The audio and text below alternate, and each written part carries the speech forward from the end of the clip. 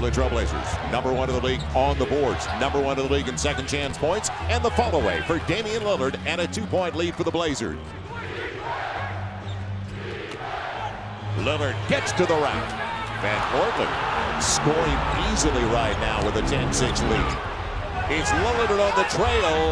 Got it. The triple for Damian Lillard. Lillard sees a crease, takes it strong to the hole.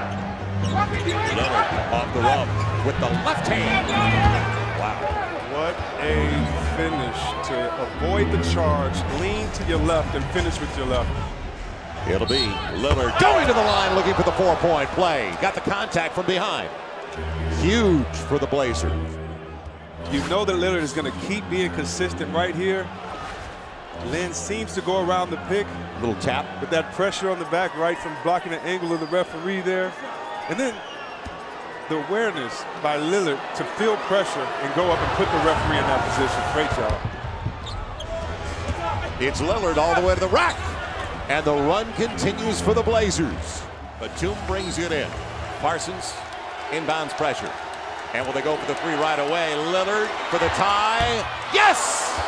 All even at 104. And the two for one at the same time for Terry Stotts.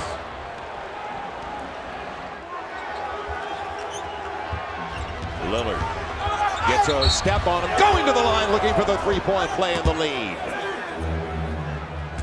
No help on the baseline.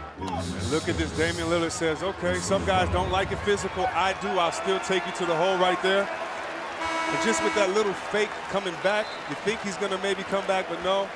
Does little Steve Smith right there. Still gets to the hole in the corner and the ambush.